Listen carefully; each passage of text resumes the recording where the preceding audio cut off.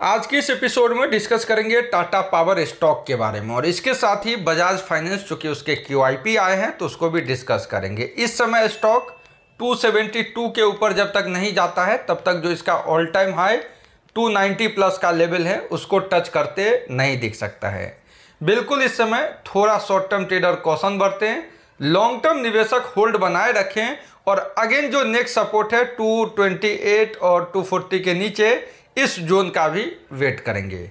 तो एपिसोड में आगे बढ़ें। से पहले प्रीमियम टेलीग्राम को ज्वाइन करके डिस्क्रिप्शन के लिंक से अकाउंट ओपन करें, जिससे आपको active trading community learning group में जोड़ दिया जाएगा।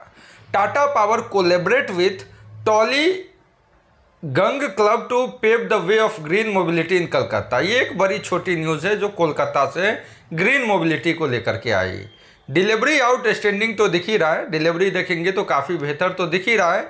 ट्रेंड जो है, वो भी पॉजिटिव है, लेकिन इसके चार्ट को देखिए तो ये इस समय क्या है? हायर हाई और हायर लो एक बार ये सपोर्ट ब्रेकडाउन हुआ 256 का तो ये प्रोबेबिलिटी क्या है कि 228 तक के लेवल्स भी दिखेंगे।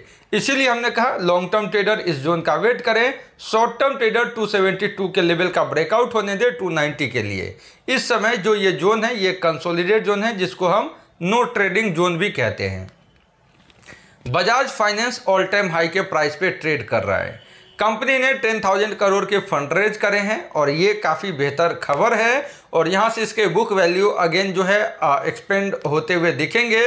और इसके अलावे देखें तो जो ट्रेंड है ऑलरेडी सिक्स मंथ में स्टॉक ने 40 परसेंट तक के रिटर्न्स दिए हैं। और यहाँ जिस प्रकार से वी शेप रिकवरी रही है, यहाँ इम्पोर्टेंट है कि 8000 के आसपास चार पाँच छः दिन, सात दिन एक्सपेंड करे।